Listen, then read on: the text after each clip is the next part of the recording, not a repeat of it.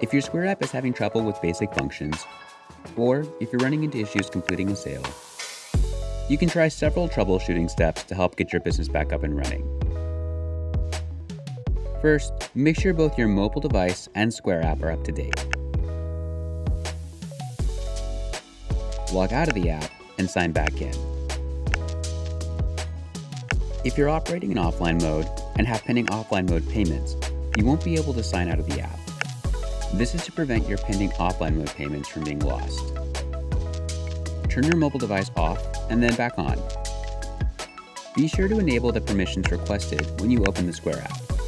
This access allows the Square app to communicate with your device to complete payments. If you don't have any pending offline mode payments, delete and reinstall the app. To delete and reinstall the Square app from an Apple device, press and hold the Square app icon until it begins to shake.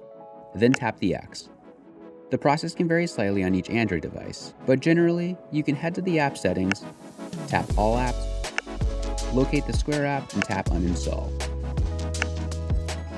Deleting and reinstalling the Square app will not impact your Square account or completed payments because your data is stored in our servers